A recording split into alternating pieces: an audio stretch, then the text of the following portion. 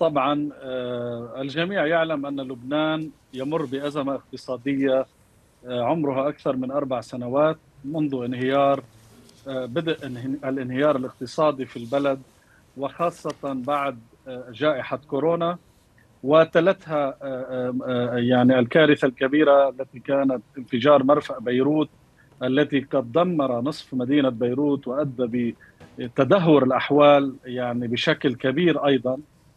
وصولا إلى هذه الحرب التي قد أضافت يعني طبقة وعبء ومأساة كبيرة على كافة الصعد وبطليعتها الاقتصاد اللبناني. ويعني بالعودة إلى سؤالك بشكل مباشر التداعيات هناك نوعين.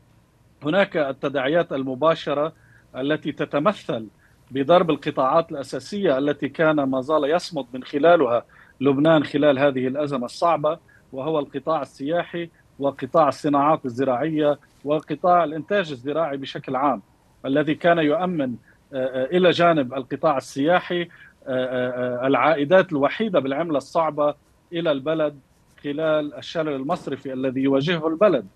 فهذه القطاعات يعني تدمرت بشكل كامل تحديدا من خلال حرق وتدمير كل الأراضي الزراعية في جنوب لبنان إضافة إلى المصانع والمؤسسات التجارية.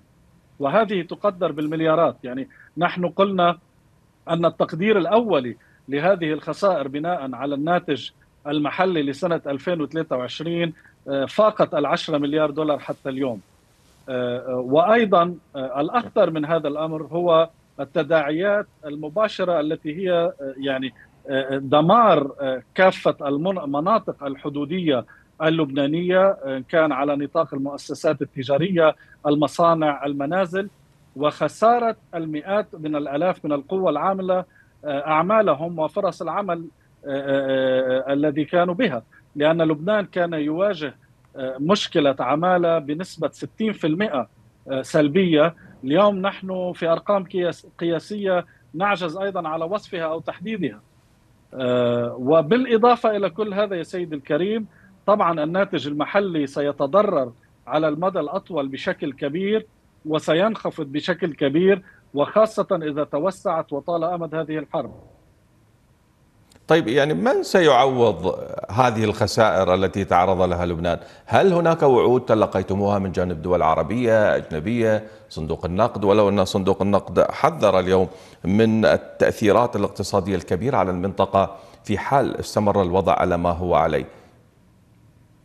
يعني بالطبع لا يمكن ان ان ان ان, أن نضيء كفاية على دعم الذي قد شهدناه خلال الأشهر الماضية وتحديدا الأسابيع الماضية والتأكيد والتطمين من تحديدا وبداية الدول العربية جميعها على دعم لبنان والوقوف إلى جانبه لاجتياز هذه المرحلة الصعبة.